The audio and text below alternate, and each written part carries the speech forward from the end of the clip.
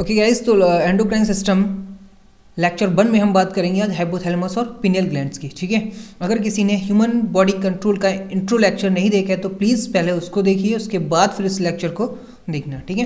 तो हम स्टार्ट करते हैं हाइपोथैलेमस से। हाइपोथैलेमस ठीक है? एंडोक्राइन सिस्टम की फ़र्स्ट ऑफ़ द ग्लैंड ठीक है? फ़र्स्ट मतलब one of the glands of endocrine system ठीक है, ऐसा कोई फ़र्स्ट सेकंड कोई ऐसा सीरियल नंबर नहीं होता, ठीक है? तो हैपोथैलेमस होती क्या है पहले?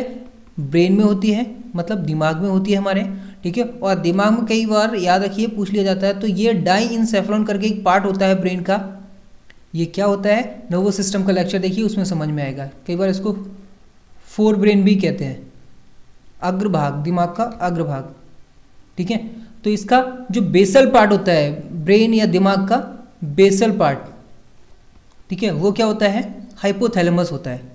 ठीक बेसल पार्ट क्या होता है? हाइपोथैलेमस इमेज में देखिए, ये क्या है? थैलेमस ठीक है हाइपोथैलेमस अगर देखो इसको ब्रेक कर, इसमें दो वर्ड है, एक हाइपो और एक थैलेमस तो थैलेमस क्या होता है? एक अलग रीजन है, और इस थैलेमस के नीचे का जो रीजन होता है हाइपो मतलब ब्लो इसको कहते हैं हम हाइपोथैलेमस तो ये क्या है? ये थैलेमस रीजन है, इसमें ध्यान से देखिए इमेज में। ये है थैलेमस रीजन ठीक है, और थैलेमस के नीचे ये वाला जो ब्लैक पिन पॉइंटेड रीजन है this one dark spot region this is hypothalamus. ठीक है? तो ये हो गया लोकेशन की बात कि हमारे दिमाग में कहाँ प्रेजेंट होती है हाइपोथैलेमस। ठीक है? दूसरी चीज़, हाइपोथैलेमस बेसिकली क्या होता है? हाइपोथैलेमस ये जो रीजन होता है, ठीक है, इस रीजन में क्या होता है?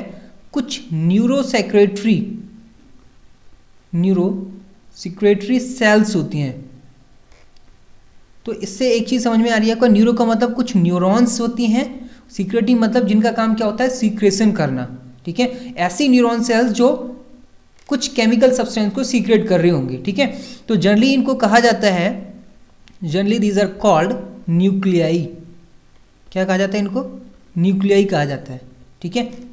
तो हम कह सकते हैं कि hypothalamus is compose of nuclei और न्यूरोसेक्रेटरी सेल्स ठीक है? अब न्यूरोसेक्रेटरी हैं तो ऑब्वियसली कुछ ना कुछ सीक्रेट कर रही होंगी, और सीक्रेट क्या करेंगी? ये हार्मोन्स ही करेंगी। क्या करेंगी? हार्मोन्स क्यों? क्योंकि आपको पता है कि ग्लैंड्स ऑलवेज क्या सीक्रेट करती हैं? हार्मोन्स और पहले हम पढ़ चुके हैं कि हार्मोन्स क्या होता है? एक non nutrient non nutrient chemical non nutrient chemical होता है। जिसका काम क्या होता है? मैसेंजर या फिर और बेहतर हम इसको कहें तो हम कह सकते हैं इंटर सेलुलर मैसेंजर मैसेंजर मतलब इंटरसेलुलर मतलब सेल के बीच में मैसेज लाने ले जाने का काम करता है। दूसरी चीज़, ये बहुत ही कम मात्रा में या ट्रेस अमाउंट में सीक्रेट होता है। This is all about the hormone ठीक है? तो सवाल ये आता है कि हाइपोथैलेमस कौन से हार्मोन सीक्रेट करती है? तो हाइपोथैलेमस के जो हार्मोन होते हैं इनको रिलीजिंग हार्मोन भी कहा जाता है कई बार। क्या? रिलीजिंग हार्मोन्स ठीक है? शॉर्ट में जिनको कहते हैं आर एच ठीक, अब इसके नाम से समझिए। रिलीजिंग हार्मोन्स क्यों कहा जा रहा है? क्योंकि ऐसा नहीं लग रहा कि ये किसी के रिलीज़ होने को रेगुलेट कर रहे होंगे। लग रहा है ना? हाँ तो ये रेगुलेट ही करते हैं। बेसिकली यहाँ पे देखिए, दिमाग में ही दूसरी ग्लैंड प्रेजेंट होती है। इस हाइपोथैलेमस के नीचे तो दूसरा ब्लैक पिन पॉइंटेड रीजन है। ये जो होती है, ये होती है pituitary gland P for pituitary G for gland प्यूस ग्रंथि। इस प्यूस ग्रंथि को शरीर की मास्टर ग्लैंड ग्लैंड कहा जाता है शरीर की मास्टर ग्रंथि। ठीक है? तो इस मास्टर ग्रंथि के सीक्रेशन को जो कंट्रोल करती है दैट इज़ हाइपोथैलेमस ठीक है? समझ में आ गया ना? तो रिलीजिंग का मतलब क्या हो गया? कि इस रिलीजिंग का मतलब हो गया कि जो पिट्यूटरी ग्लैंड्स होती है, ध्यान से समझने वाली बात है पिट्यूटरी ग्लैंड्स ठीक है? इस पिट्यूटरी ग्लैंड्स के जो हार्मोन हैं, उनके सिंथेसिस मतलब उनके निर्माण मतलब फॉर्मेशन निर्माण जिसको हम कहते हैं, या फिर उनके सीक्रेशन श्रावण। जिसको हिंदी में कहते हैं श्रावण, ठीक है? पिट्यूटरी ग्लैंड से सिंथेसिस या सीक्रेट होने वाले हर एक हार्मोन को किसके हार्मोन कंट्रोल करते हैं रेगुलेट करते हैं? हाइपोथैलेमस से सीक्रेट होने वाले रिलीजिंग हार्मोन इसीलिए इसको कहा जाता है रिलीजिंग हार्मोन मतलब जब हाइपोथैलेमस से हार्मोन्स पिट्यूटरी ग्लैंड को मैसेज देंगे, तभी पिट्यूटरी ग्लैंड अपने अंदर हार्मोन को सिंथेसाइज करेगी और उनको सीक्रेट करेगी। तो कई बार हाइपोथैलेमस को master of the master gland भी कहा जाता है। मास्टर ऑफ़ मास्टर ग्लैंड क्यों?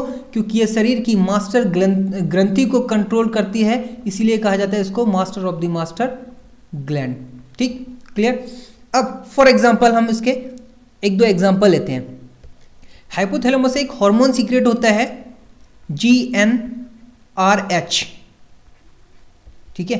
पहला hormone G N R H को हम फुल फॉर्म में कहते हैं गोनेडो गोनेडो ट्रोफिन हार्मोन ये कहाँ से सीक्रेट होता है? हाइपोथैलेमस से.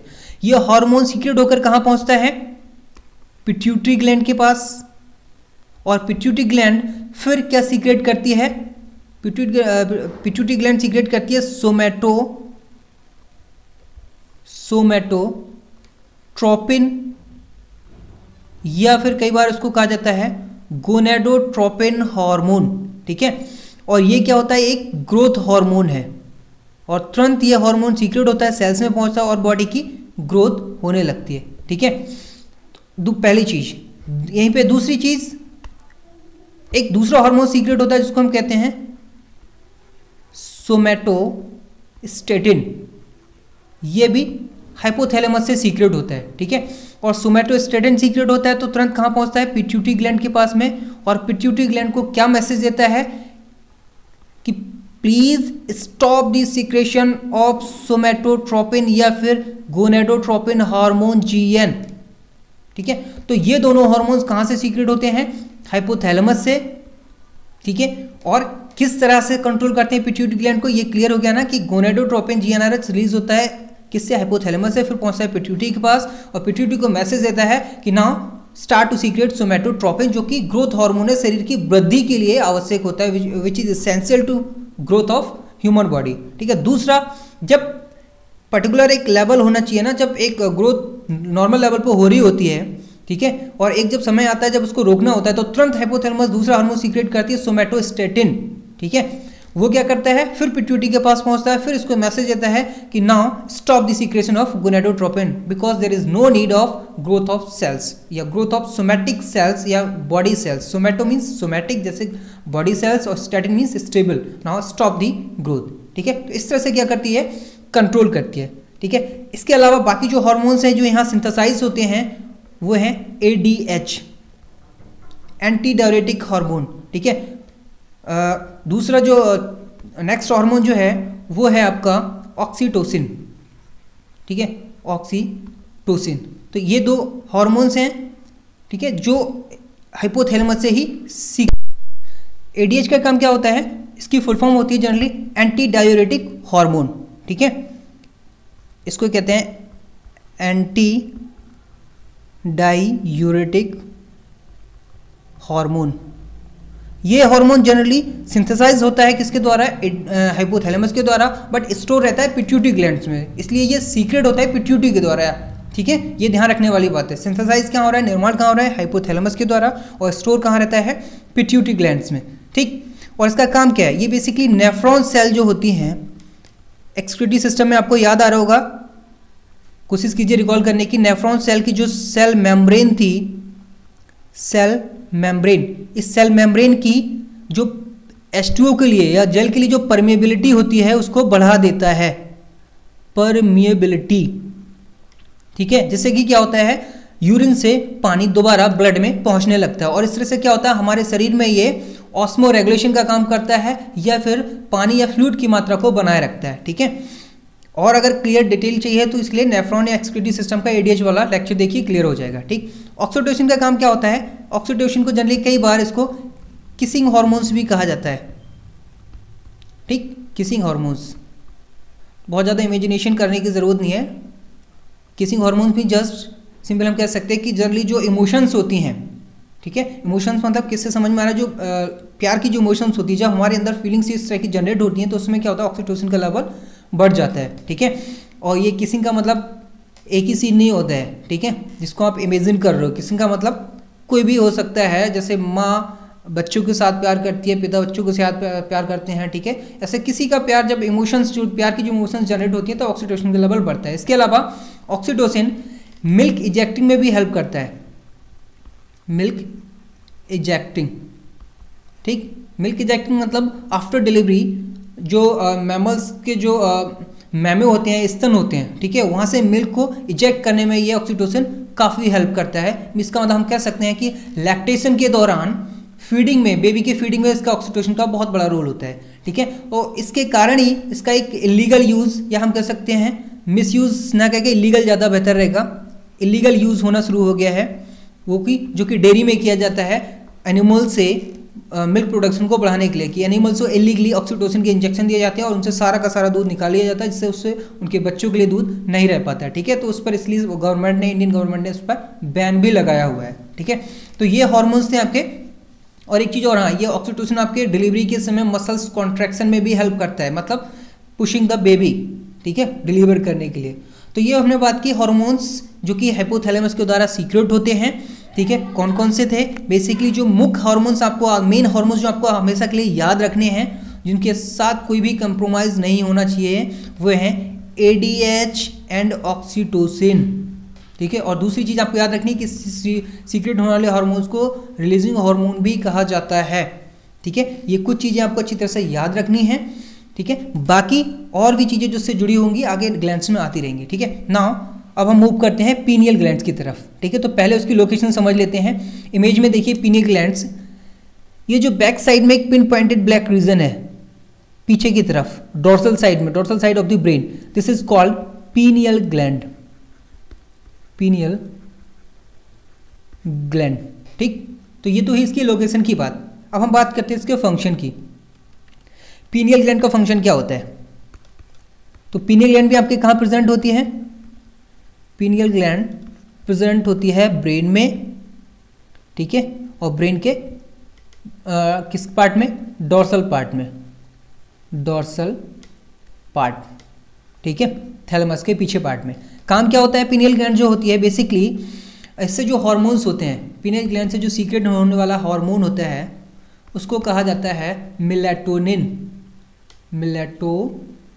मिलेटोनिन और मिलेटोनिन हार्मोन्स का जो काम होता है, वो बेसिकली कई सारे फ़ंक्शन होते हैं, उसके सबसे मेन काम होता है हमारी बायोलॉजिकल क्लॉक को मेंटेन रखना।